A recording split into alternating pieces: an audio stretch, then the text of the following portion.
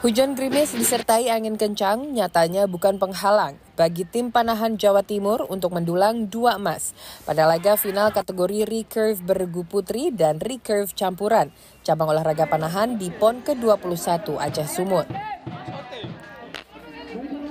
Pada kategori recurve bergu putri, Diananda Hoirunisa dan tim Jawa Timur sukses menaklukkan tim Jawa Tengah dengan skor 6-0 dalam tiga set pertandingan dengan poin perolehan 52-50, 56-51, dan 55-51.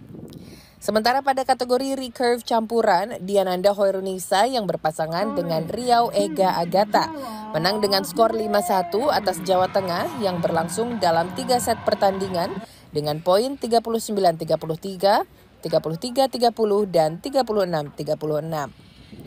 Saat ditemui antara usai pertandingan di Banda Aceh Minggu 15 September, pelatih panahan Jawa Timur Lilis Handayani menyebut kondisi angin yang cukup kencang saat laga final ini menjadi tantangan tersendiri yang harus diatasi oleh para atlet. Faktor jam terbang dalam perlombaan yang didukung dengan teknik serta kondisi fisik yang terlatih menjadi hal wajib yang harus dikuasai oleh para atlet ke teknik dan fisik. Ketika dia tidak punya fisik yang bagus untuk menahan angin, masih belum.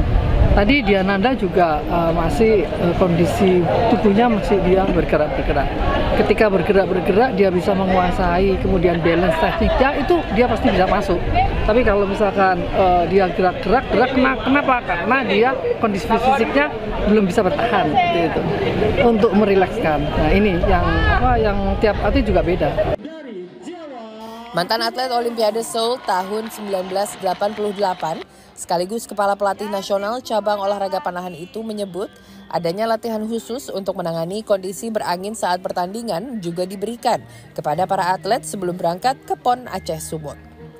Dengan bertambahnya dua emas di kategori recurve beregu putri dan campuran, total telah ada tiga medali emas yang dikumpulkan Jawa Timur hingga hari ke-6 pertandingan panahan. Satu emas juga berhasil diperoleh Diananda Hoirunisa dari kategori recurve individu putri. Dari Banda Aceh, Aceh, Fandi Yogari, Kantor Berita Antara mewartakan.